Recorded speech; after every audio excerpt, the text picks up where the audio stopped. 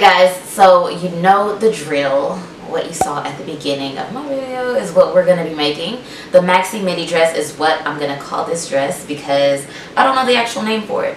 Um, I'm sure it's somewhere along those lines just because it is a maxi dress mid-length. So I'm just going to stick with that name. Um, I've seen this dress on Instagram uh, paired with Converse like I have them in the video. Um, some people pair it with heels, wedges, just I guess depending on the occasion. Uh, my Most of my occasions are probably going to be chill with my family. Um, so I got to keep my Converse on when I'm wearing this dress. Uh, I probably won't ever wear this dress with heels just because I don't think it's that type of dress. But people make it work. I'm going to make it work with Converse. So if you want to figure out how to get your own maxi midi dress, then just keep watching. Alright, so you want to start off with some fabric. This fabric is, I think, the ring spun cotton. I've already got my um, pattern here that I want to use.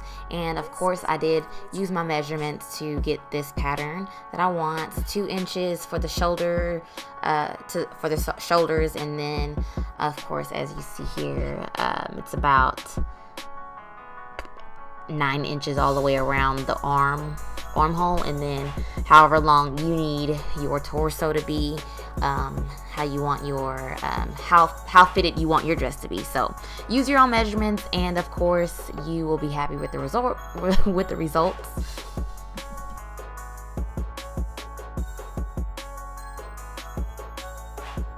Okay, so once you get your measurements down, um, what I did here is I just pinned down my fabric for when I'm getting ready to cut it so it doesn't move out of place.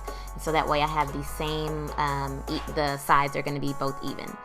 Um, also, I took my length measurements of how long I wanted my dress to be. The long, the length of my dress is 39 inches from shoulder to about um, a little bit above my knee.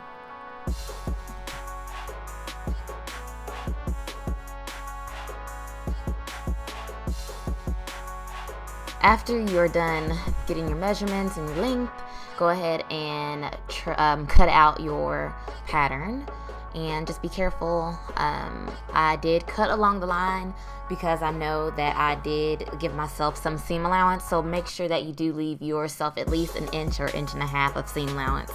Um, that you know that you'll be um, that when you sew, uh, it will not take away from the length that you actually need or the measurements that you actually need. And I'm just tracing my line a little bit, um, a little bit more so I know where to sew.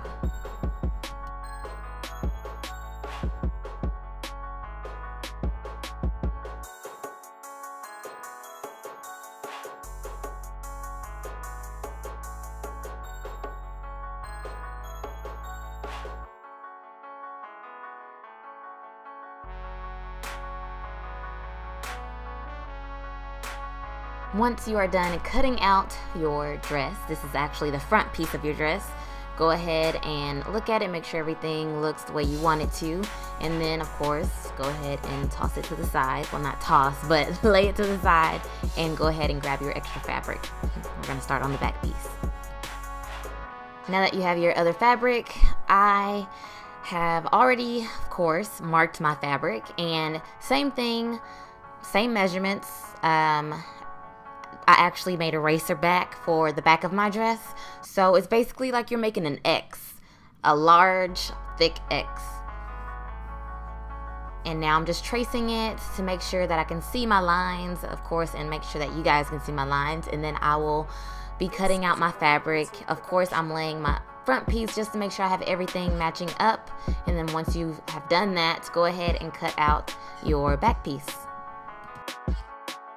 Okay, so once you're done cutting out your fabric, you're gonna lay both pieces side by side, and then you're gonna start with the top piece, your front piece of your dress, and then you're gonna lay that on top of your back piece. I like to line up the corners of my armholes first and start pinning there, and then I'll move up to my shoulder pieces, and then I'll pin the rest of the dress down. And don't forget, I do have a video showing you how to pin your fabric down.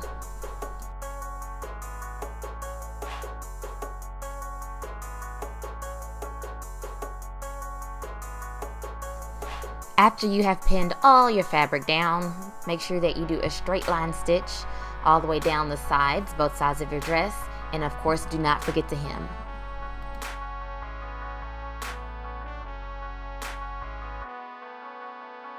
And this is what your hemline should look like.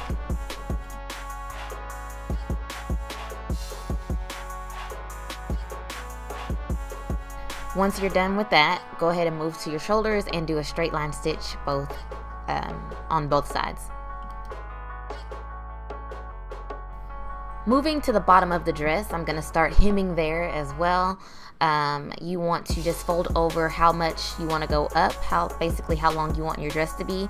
And I simply just folded my dress one time and then I went ahead and ironed down so I can have a straight um, stitch, a straight seam. Once you are done ironing, go ahead and start pinning down your fabric and you're going to simply do a straight line stitch all the way around the bottom of the dress.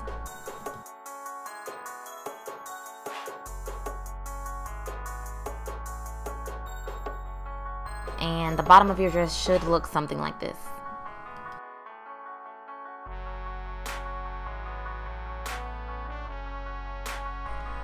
Alright, so moving on to the top of the dress. Um, basically, I'm simply I'm simply just pinning my fabric, folding over my edges and pinning the fabric down. And then, of course, you see me here just doing another straight line stitch. It's very, very simple, guys, I promise.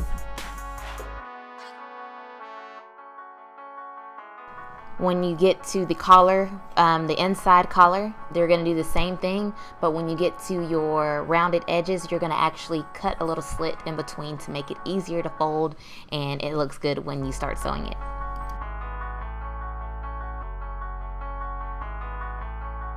Alright, and then once you're done sewing, it should look a little bit something like this and you guys are done.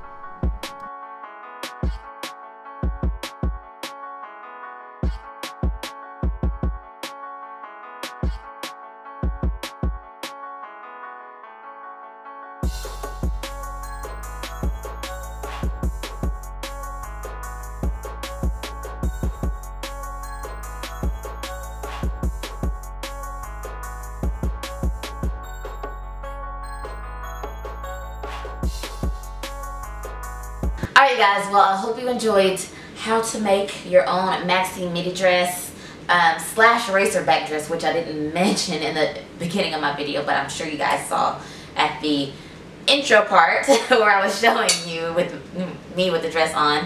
Um, but it is also a racer back dress. If you have any DIY requests, make sure that you comment below. Of course, don't forget to thumbs up this video and share because sharing is caring.